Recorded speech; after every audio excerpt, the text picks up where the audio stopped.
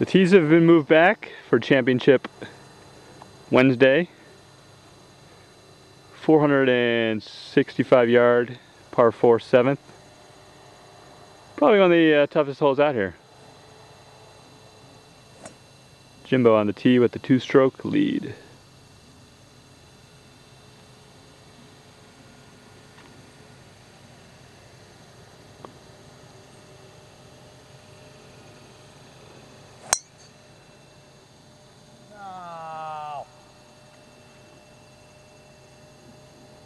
Gone well right in the rough.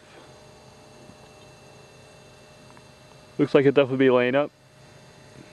Playing it as a part five. The door open for Jeff to make up some ground.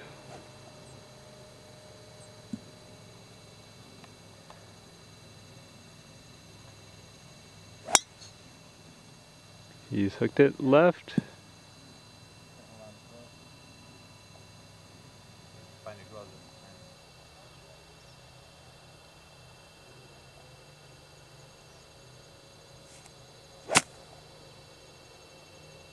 We went to the replays and were able to locate the line of Jeff's ball.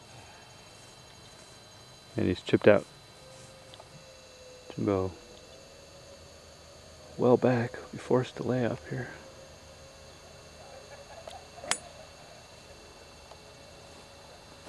Right down the fairway. Jimbo's strength of his game is uh, with the wedges.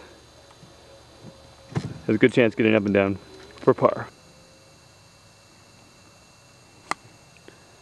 Jeff from 133. It's a little thin. It's going up the center of the green. See if he got all the way back there or not.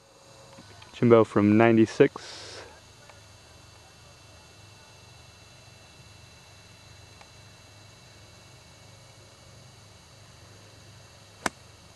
Looks like a pitching wedge. Need to get up a little bit. And should be on the back tier. Putting for par.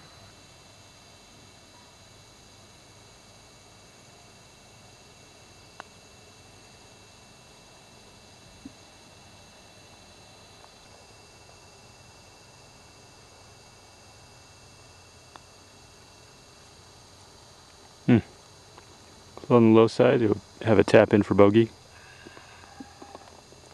Goes to plus two.